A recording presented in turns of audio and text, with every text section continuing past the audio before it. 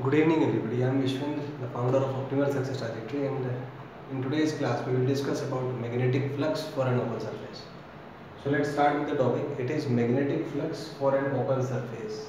The first thing is magnetic flux is related to the number of magnetic field lines crossing a surface area. I'll repeat itself. Magnetic flux is related to the number of magnetic field lines crossing an area.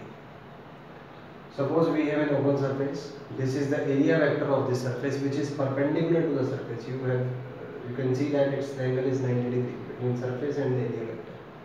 Suppose the magnetic field makes an angle theta with the area vector. So the defined flux is B dot S which is Bs cos theta. If we talk about the magnitude of this flux which can be related which is proportional to the number of magnetic field lines. So it is minimum when mod cos theta is minimum.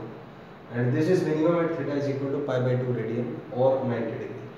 So the flux has minimum magnitude when theta is 90 that is magnetic field and area vector are perpendicular to each other as you can see over here.